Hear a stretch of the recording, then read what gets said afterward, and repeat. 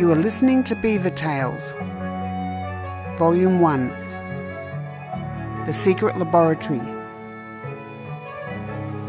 by Studio Mike.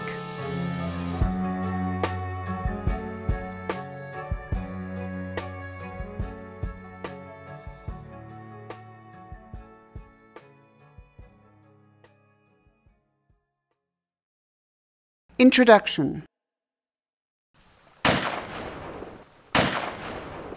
I dive to the earth as buckshot soars past my ear. We're empty handed as we return from a uranium run, our lives hanging in the balance. We won't be time traveling tonight. Get up! Freddy calls to me. He bends down and pulls me to my feet. Freddy the Frog, aka the Trickster, hops ahead of me. The shimmery pond is just ahead of us, but it'll be a miracle if we get there before we're filled with buckshot. Another blast roars overhead, and I duck. Pumpkin ducks too. Pumpkin is my girl and is a beaver, just like me. At least, I hope she's my girl. We haven't really talked about it, but this probably isn't the best time to bring it up, as Farmer Anders continues to shoot at us with his shotgun. I hear vicious barking and I shiver as I recognize the timbre of the hideous beast, Dreadnought, the farmer's protective half wolf, black shepherd that strikes fear in me with his bloodshot eyes and long, sharp fangs. I can hear the pounding of his giant paws on the earth behind me, and I know if we don't make it to the pond quick, we're as good as dead. Pumpkin, move it! He's right behind you! I can feel my heart beating in my throat. I'm too terrified to turn around. One wrong step, and I'm dead. Freddy makes it to Shimmery Pond first and dives under the surface of the mossy water. Pumpkin and I dive in right behind him. The water is cold and I shiver. BBs slide past us under the surface of the water, and it's enough to make me gasp and choke on tepid water. And I know what you're thinking. What do beavers, uranium, and time travel have in common? Well, that's a heck of a story. So, if heck of a stories are your thing, settle in and buckle up because you're in for a heck of a ride. Chapter 1 The Nightmare. Every morning, I wake up from the same nightmare. A fire roars all around me, and I can't move. Our house is on fire, and I'm trapped under a burning log. I can feel the heat of the flames as they curl the hair on the top of my head. I smell burning fur.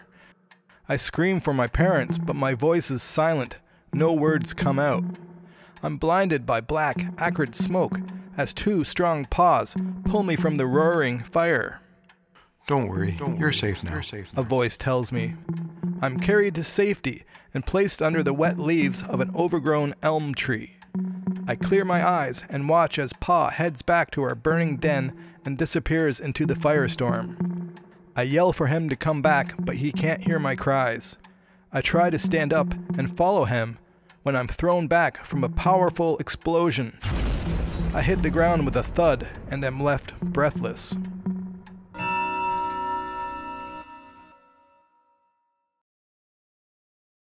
Chapter 2 Seeger's Square. Ha! I cry out and wake up in bed, soaked in sweat. I look around my blackened room and realize I've had the nightmare again. I wipe tears from my eyes and lay back down. No matter how many times I have that dream, it never fails to shake me to my core.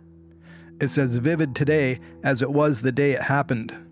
And the gut wrenching loss I feel every time I realize that Ma and Pa are still gone is devastating. Maybe it's time I introduce myself. My name is Rain. I'm an 11 year old beaver with soft brown fur, a long, leathery tail, and teeny little ears. I live in a den that my relatives built years ago and that our family has lived in for as long as anyone can remember. Our den is built into the mouth of Shimmery Pond, a deep, dark pond that is bisected by the Big Muddy River, which flows through the property of our arch enemy, Farmer Anders.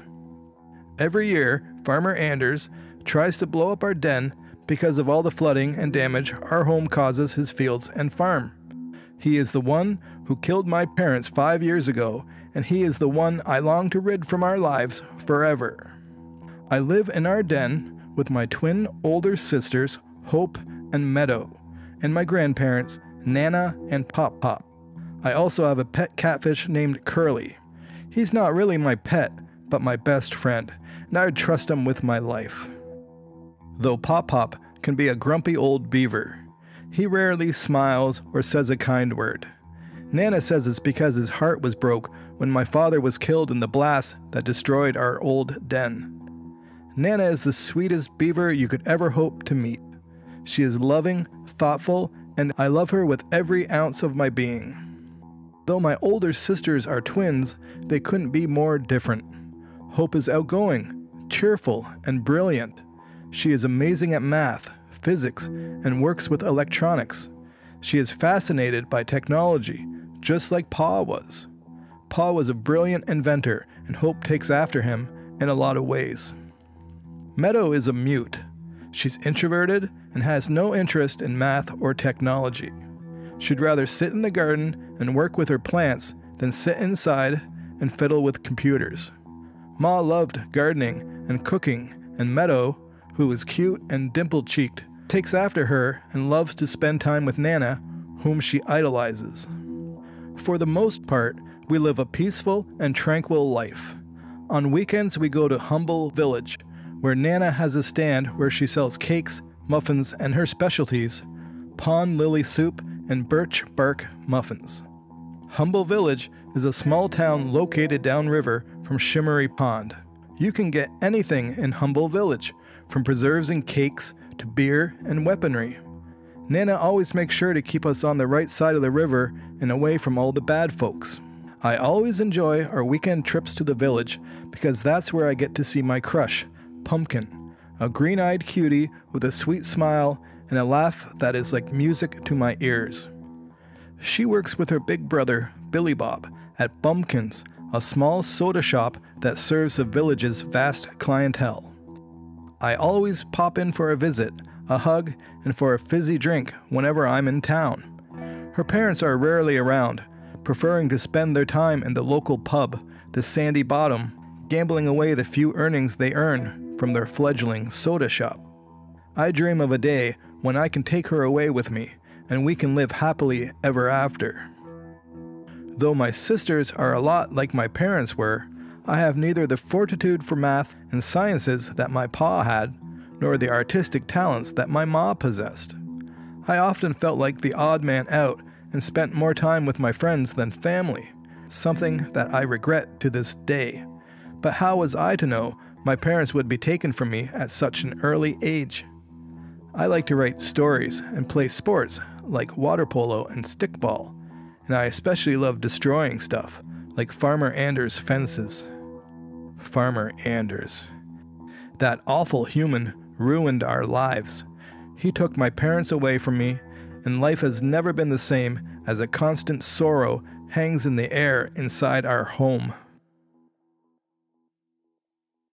I stretch my paws toward the roof of my bedroom and yawn loudly. I jump out of bed and slip into my favorite pair of overalls. Though ripped and in dire need of nana repair, they fit me like a second skin, and I never go anywhere without them. They were a gift from my ma before her death, and wearing them is like being hugged by her, and I can't live without that feeling. There is a knock at my bedroom door. Reign of Terror, you getting up or what? It's my Pop Pop, using the nickname he loves to tease me with. Come on, Stinky, get up. Hope calls through the door. It's our birthday, and Nana says we can't open our presents until you get out of bed. So get up. I'm coming, I say. Of course, I know it's the twins' birthday, but I'll never tell her that. It might make her think I love her or something, and I can't have that. I open the door and take in the scents of morning. I smell root tea and freshly baked lily pad muffins, and I hurry to the kitchen, where my family is sitting around the kitchen table. Pop Pop and Meadow sit at the table, stuffing their faces with grubs. Nana hovers around the stove, keeping everything in check. Sit down, honey. I'll serve you breakfast. Thanks, Nana. I'm starving. Now can we open our presents? Just one. But Nana said, You can open one. That's it. Hope tries to protest, but Pop Pop is having none of it. She moves into the living room and approaches a table that is loaded with gifts wrapped in brightly colored paper. Aren't you going to open a gift, dear? Nana asks Meadow. The girl thinks about it, then gets up from the table and joins Hope in the living room. Nana, Pop Pop, and I join the twins in the living room, leaving breakfast behind. I scurry back and grab a muffin and chomp down on it. Like always, it's super delicious. So good, I say. Don't talk with your mouth full. I open my mouth and show him my chewed up food. I stick my tongue out at him. Don't be gross, dear. I smile and finish the muffin. This is exciting. She picks up boxes with her name on it and shakes them. Sounds like a pair of slippers? She says and puts the box down. This one sounds like a new dress. Meadow picks up a gift and walks back to the red sofa and sits down with it in her lap. Aren't you going to open it? Meadow looks up at her with giant, sympathetic eyes and looks back at her present. Just open it, I say. It's my gift, and I know she's going to love it. She slowly unwraps the paper and opens the box. A huge smile lights up her face, and she reaches into the box and pulls out a new set of paintbrushes. She rushes over to me and gives me a huge hug. It's uncomfortably long, but I'm filled with joy because I know that I've made her happy. Meadow goes back to the couch, sits down, and admires her gift. Hope continues shaking boxes. Hmm. I don't know what this one is. She shakes it again. Down the hall, there is a splashing noise, and a figure emerges from the entrance to the den. It's an older, overweight beaver with a small bald patch on the top of his head. Uncle, Cody. Hey, kiddos. Cody shakes himself off, and water beads off his greasy fur and onto the entrance carpet. Shaking gifts again, eh, kid? He says to Hope and pats her on the head. She gives him a huge hug. Meadow waves to him from the couch. There's muffins and tea in the kitchen. Nana tells Uncle Cody. I race him to the kitchen and we stuff our mouths with warm, tasty pastry. He smiles at me and pats me on the back. Uncle Cody was Pa's business partner, and they worked together in an old laboratory below our den. Since Pa's death, he has spent a lot of time at our house and has become somewhat of a surrogate father to my sisters and I. We walk into the living room where Hope has finally selected a gift to open. What is it? I don't know, Stinky. I haven't opened it yet. Don't call your brother Stinky. If he doesn't want to be called Stinky, you should try using soap. In her hands is a small box wrapped in purple paper. Who's it from? It doesn't say. She flips the gift over, and there is a small label with her name on it. She stares at it for a long moment and doesn't say anything. Open it! Don't rush me.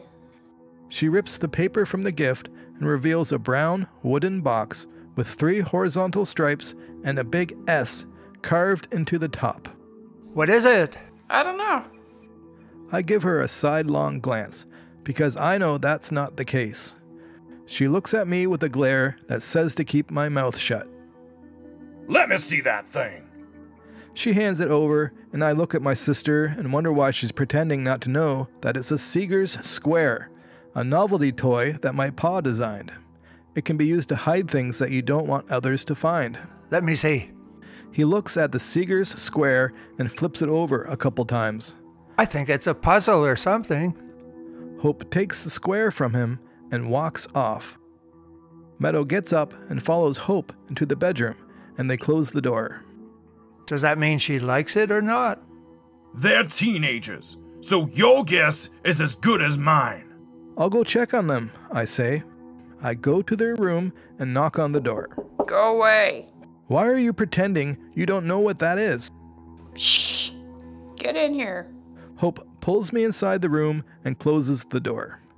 Meadow is sitting on the lower bed of their walnut bunk beds. She's inspecting the square. What's going on? I ask. I think it's a gift from Pa. Uh, that's not possible. He's the only one that ever had a Seeger Square. Meadow nods.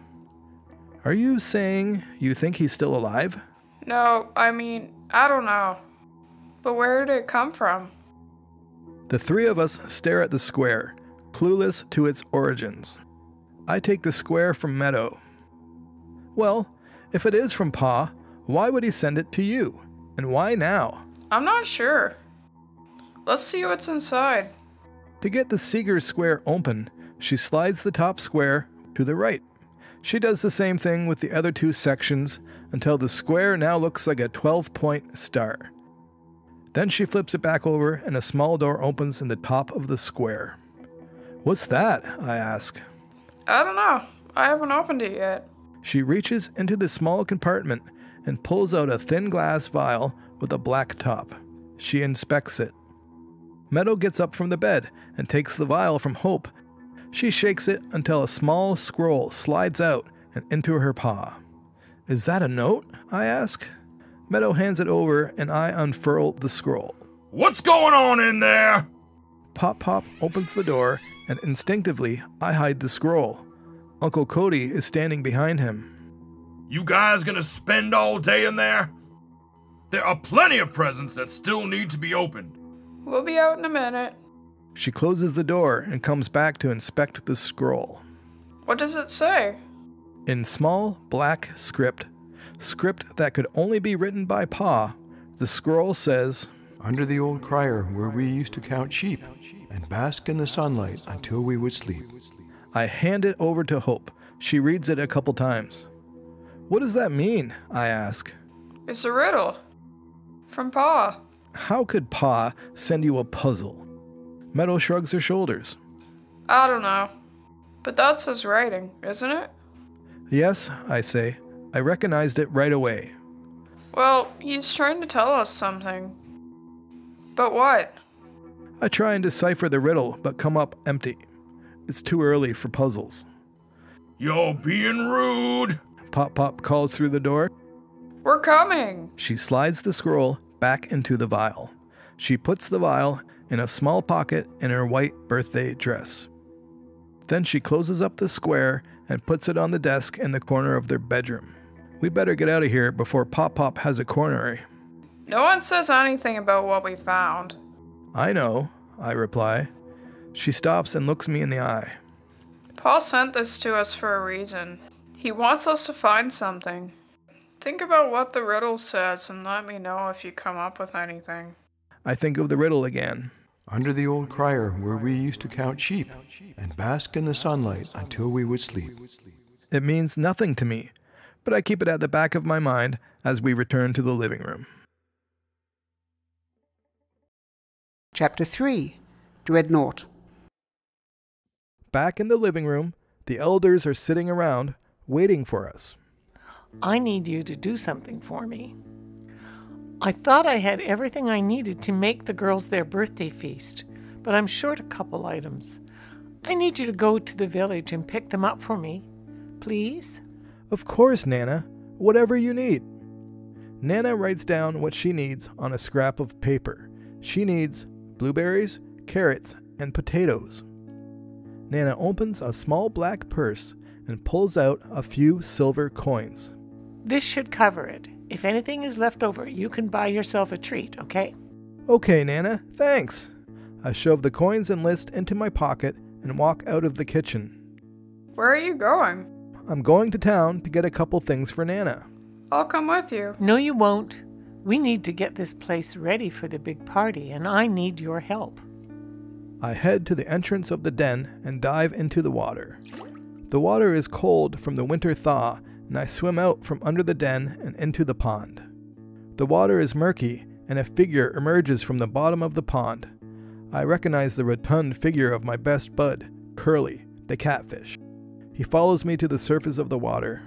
Where are you going? Nan needs me to get a couple things for her. Can I come with you? Can you walk on land? No. Then you can't come. But I want to. Then you're gonna have to figure out a way to do it. I will. One of these days. You just wait. I've heard Curly say this a thousand times, and I'd love for my buddy to be able to follow me on land, but I haven't been able to figure out a way for him to do it. I bet Pa could have figured out a way to do it. Pa was a genius. I climb out of the water and shake myself off. I'll be back soon. Maybe we can play some stickball later. I'd love that. Okay, buddy. See ya. I walk off and up the sloppy shore to the pond. To my left, pussy willows are beginning to emerge from their winter sleep. I walk around the stick pile that hides our den underneath. I emerge at the mouth of the big muddy river and stand there. A gorgeous orange and black butterfly soars down from an old oak tree and lands on my shoulder. Good morning, Rain. Hi, Penelope. Penelope is a monarch butterfly. She was orphaned on our land last year when her family were on their way to Mexico for their winter vacation. She got separated from her family and has been living with us on our land ever since. She is a sweet, caring friend who looks out for me, and I'm lucky to have her in my life. She's waiting around with the hope that her family will come back for her when summer emerges from the frozen cocoon of spring. Where are you going? I need to get some things for Nana. You going to the village? I hesitate. I've been thinking about that. I don't think so. Think I'll go shopping elsewhere, I reply. Oh, no, you won't. She scolds. You're not going there. You'll get in trouble. Did someone say trouble? From out of the river emerges a small green frog with big, bulging eyes. Hey, Freddy. Don't call me that. I'm the trickster. I'm not going to call you that. It's dumb. It's not dumb. It's my stage name. But you don't perform anywhere. Not yet, I don't. But I will someday. Well, when that day comes, I'll start calling you that. Until then, you're just plain Freddy. Guess she told you, I say. He huffs loudly, and I laugh. Where are you going? He's supposed to go into town and get some things for the party. What kind of things? Blueberries, carrots, and potatoes. Did your Nana give you coin for that stuff? Of course, I reply. Cool. What you really should do is pocket that money for later and go to the farmer's house instead. We can grab stuff there. Don't do it. Freddy, I like the way you think, I say with a smile. No, you don't. No, you won't. Stop being such a worrywart. We'll be fine. Yeah, we'll be fine, I say. To be honest, I had already been counting that money and fantasizing about all the cool things I could buy with it. It's too early. Nothing has grown in his fields. True, but he has stuff in his kitchen and in storage. You're not helping. Wasn't trying to. I know it's dangerous and that I could be putting my life in jeopardy by entering the farmer's property. At the same time, I despise him. I'll use any excuse to make his life miserable. It's one of my only goals in life to make life so unbearable that he'll have to leave the property for good. Let's go, I say. To the village, right? Good try. I dive into the big muddy and swim across to the distant shore. Freddy follows me, and Penelope soars above us, scolding us the whole time. We climb up the riverbank and enter a small clearing. You could still turn around and do the right thing. The buds are emerging from their winter sleep as we walk on by. At the end of the clearing, we find a thin silver fence. It's the electric fence that Farmer Anders has built around his fields and orchards to keep us out. Don't touch it. Thanks for the warning, Miss Obvious. Freddy hops between the rows of thin wires and emerges on the other side unharmed. Penelope flies over the fence and lands on the other side with the frog, her wings gently stirring in the wind. I lay down on my stomach and make myself as thin as possible. I probably shouldn't have eaten that fourth muffin, I mutter as I begin to slide under the bottom rung of the electric fence. Be careful. I slowly drag myself under the wire and make sure that my tail doesn't rise and get me electrocuted. Almost there. I crawl out from under the fence and dust myself off. See? No problem. You got lucky. One of these days you might get yourself hurt. Who invited her along? You need me. She sticks her tongue out at him. I can help keep you safe. I look around. To our right, there are rows of tall apple trees. most of which are starting to awake from their winter slumber. There are fruit and vegetable patches that the farmer has recently sowed. Early summer, there will be so many strawberries, I'll gorge until I get sick. And if I'm lucky, there will be ripe and delicious raspberries that I'll stuff into my mouth and enjoy as the sticky juice drips down my chin. Up ahead, there is a small, sloping hill that leads to the farmer's house. The house is painted white and has a red door and green shutters. A graying wooden porch wraps around the house and holds two old rocking chairs that sit motionless. Let's move, I say as we head up the muddy path that leads to the house. I'll go up ahead and let you know if I see anything. She soars ahead of us and rises high into the air for a better vantage point. Coast is clear. Freddie and I climb up the hill and head toward the house. Where should we go in? Back of the house. That's where the kitchen is. We sneak around to the back of the house.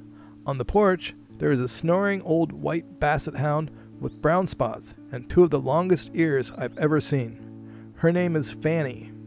I motion to Freddie to keep quiet. We sneak by the snoring dog.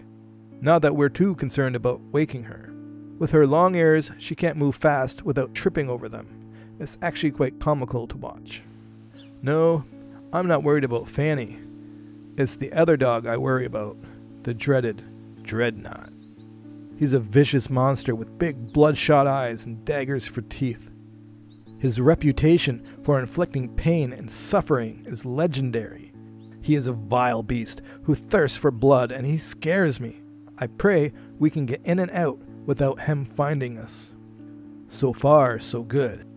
We slowly, quietly walk up the old porch stairs. One of them creaks and we stop moving. Fanny stirs, but doesn't wake from her deep slumber. We walk across the porch and up to the back door. Freddie hops up into the mail slot and goes inside. I hear him fiddling with the lock, and he twists the knob, and the door slowly opens with a creak. I enter the house. Where's Penelope? I close the door. Guess she's staying out there. Okay. Well, we're in. Now what? I walk toward the fridge and realize that I'm empty handed. I stop. We need to get something to carry the stuff back with, I say. We sneak around for a bit, and I open one of the cupboards. Pans crash out of the door, and there is a loud ruckus. Oh no! I gasp. I try to shut the door, but the damage has been done. What was that? I hear the farmer ask. Who's in the kitchen? We have to get out of here. There is a knock at the window. On the other side of the glass, Penelope is motioning for us to get out. Then I hear it a deep, evil growl. Dreadnought. I can hear the click of his long nails on the wooden floor. He's sniffing around just outside the kitchen. I glance at Freddy. He looks ready to pass out. I can smell the vile beast as it gets closer. His breath is hideous. I don't know what to do. I feel trapped. There is a small creaking noise, and I see that Penelope has flown into the kitchen through the mail slot. She gives us a stern look and floats over the head of the great beast. He growls and lunges for her.